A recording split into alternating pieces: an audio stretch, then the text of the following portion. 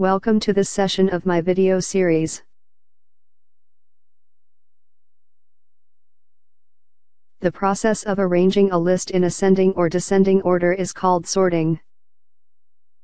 Bubble sort is one of the most elementary sorting algorithms. It is not very efficient, but it surely provides a good exercise for a programmer. We'll see how to implement this algorithm with C.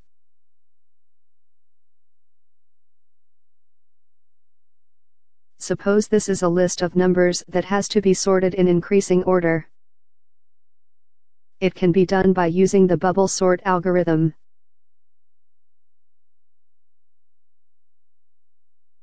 Start from the left side and compare the first two items.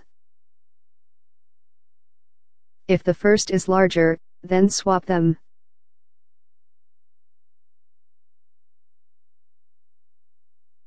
This is how the list looks like now.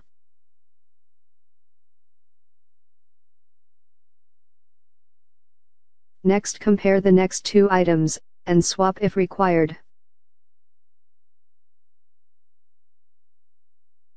The list still looks like the same because no swapping was required. Compare the next two now.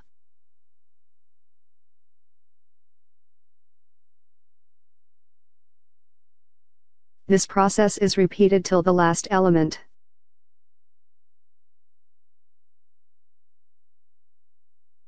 This process on all the elements is called a pass. We have completed the first pass just now.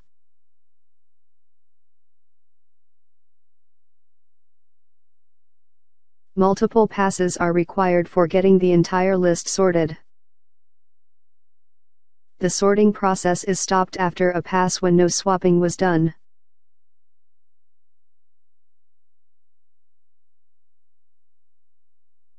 These passes are repeated till the list gets sorted.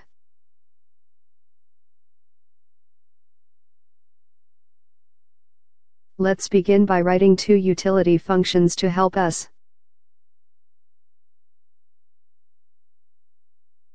This function will help us print the contents of the array.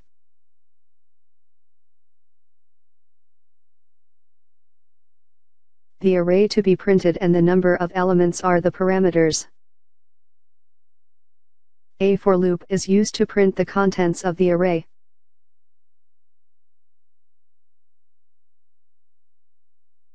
The second function is for swapping two parameters. But the swapping is done only if x is greater than y. The function returns true if the swapping was done. And it returns false if swapping was not done.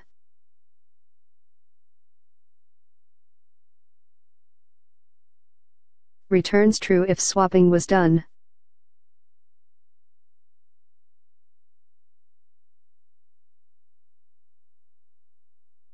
This is an implementation of the algorithm. There are many ways to write this code. This is one of them.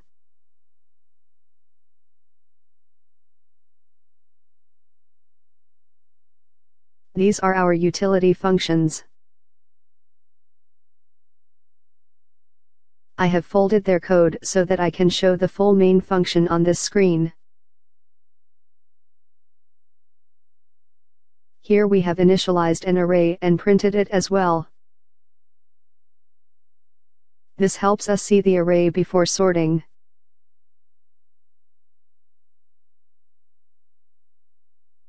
This is an infinite while loop. It will allow us to keep doing the passes till the array is sorted.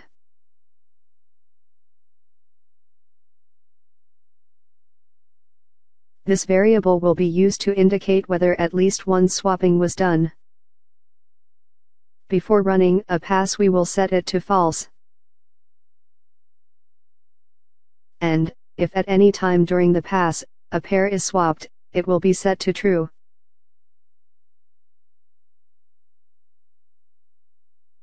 If no swapping was done then the list is sorted completely.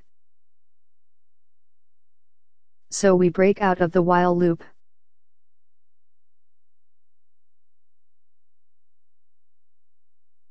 This for loop runs so that all adjacent pairs are compared. And, if some swapping occurs, we set the swapping variable to true.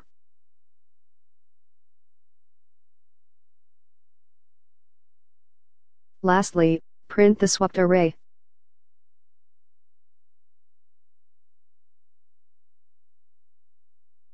This is the output of the code. The first line is the array before swapping. The last line is the array after it has been swapped.